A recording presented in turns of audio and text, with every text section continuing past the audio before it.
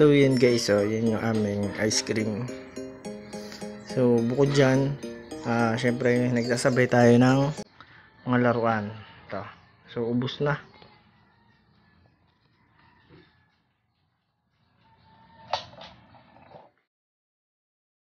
Ayan. Medyo ubus na yung mga candy natin. So ongoing pa yung ating mga deliveries. So meron tayong dumating na, na ano na mga i-display natin dito.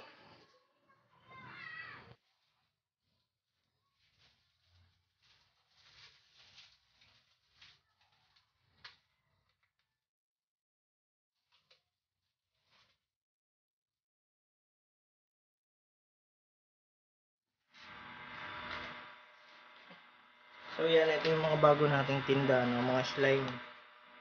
So iba-iba yung hugis niya. Merong star, diamond, so,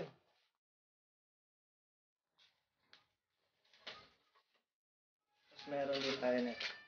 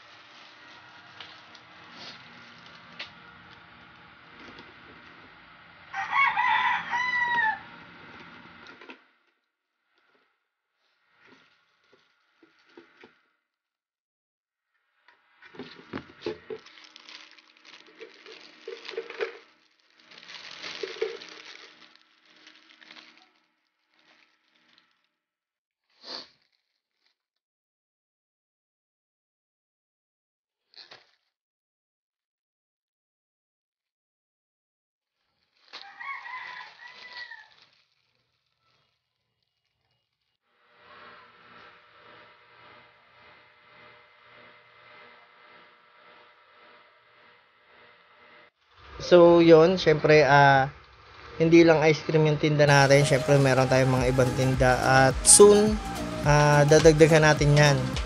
Yung ating mga paninda. Pupunuin natin to ng mga, ano, mga laruan, mga candy. Kasi parang maganda din kasi, bukod sa ice cream shop, no, ah, mga toy shop, tsaka yung mga murang to- laruan, mga pambata. Tapos meron din tayong mga ah, candy shop, yan yun yung plano natin na na ma-establish yung ganung klaseng business.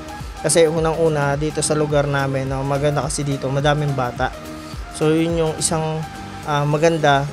Syempre titingnan mo yung magandang market ng place mo para para ano ah, kung ano yung alam mo yung ititinda mo 'di ba? And yun lang no? And please support my YouTube channel at Marco Pog TV So yun, and maraming salamat po.